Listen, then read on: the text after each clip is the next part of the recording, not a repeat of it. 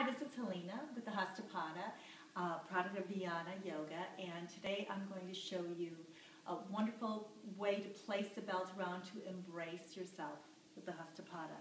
You can see we have one here with an adjustable loop and two stationary loops, and I've already taken the adjustable loop out, so I'm going to place this midsection here, just underneath where my heart is, and I'm going to cross it over in the back so it crosses over. We come around, I'm going to show you how we can cross it here and then bring it directly up and above over the shoulders, really nice and tight.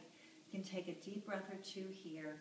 And as you come around, you can see here with my D ring, I can take this other end and place it through the two rings. And it's not always so smooth, but once you get it on, it's worth pulling it through. You can draw it up tightly and pull it out. So you can see it's a nice fit.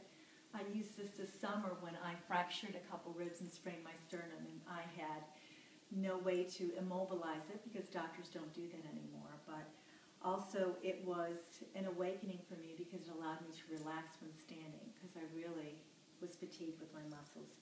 So, a great way to take it off, I'm going to stand up and then I'll show you. It's almost like taking an article of clothing off. You just drop it down, walk out, and voila, Leela in the loop with the Hastapada.